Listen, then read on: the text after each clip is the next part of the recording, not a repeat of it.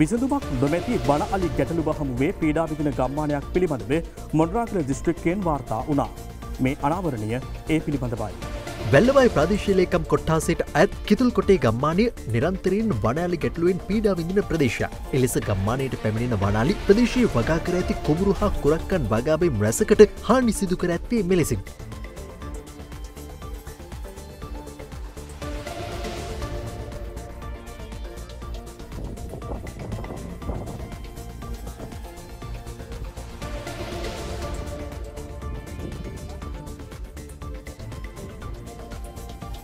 දැන් මේ බෝග හදන්න අප කාම ජීවත් වෙන්න මාර්ගයක් නේ. නැත්නම් අපිට හොයාගන්න හම්බෙන්නේ නැහැ නේ කෑම වේලවත්. මේ විදිහ විනාශ කරලා ගියාම අපි කන්න දෙයක්වත් නැහැ අපිට හම්බ කරගන්න කෙනෙකුත් නැහැ. අලි වෙඩි ගත්ත ගිරුවන් පස්සේ ඒකත් මර ජීවියකින් කියනවා අලි වෙඩි නැහැ කියලා පිටක් කරනවා ආපහු. ඊට පස්සේ අපිට එළවන්න කෙනෙක් නැහැනේ.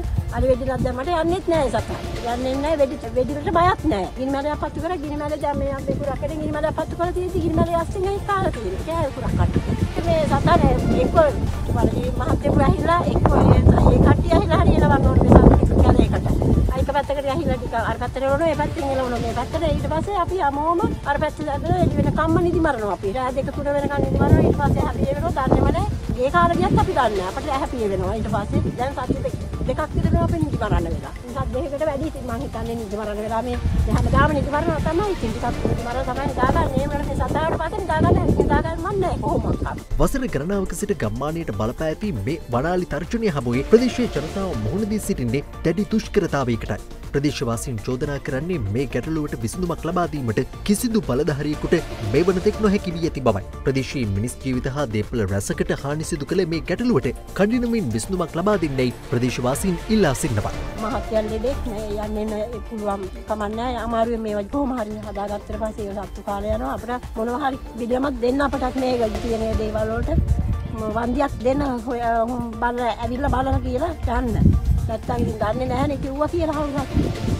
ඉතින් අපිට ජීවත් වෙන මාර්ගයක් තියෙන්න එපා. කොයිතැන් කරා මායු කුලියක් හිටව ගන්න හැටියක් නැහැ. කිසි පැලයක් පැල කරගන්න විදියක් නැහැ. පොල් පැලයක් පැල කරගන්න විදියක් නැහැ. සේරෝම කාලය යනවා. මායු ගස් 500ක් විතර තිබුණා අපි හිටවලා. අර තිබුණ හොඳට තිබුණා. පෙරහැර වගේ දවස් තුනක් කාලා ගියා මායු කුමන්දියගේ.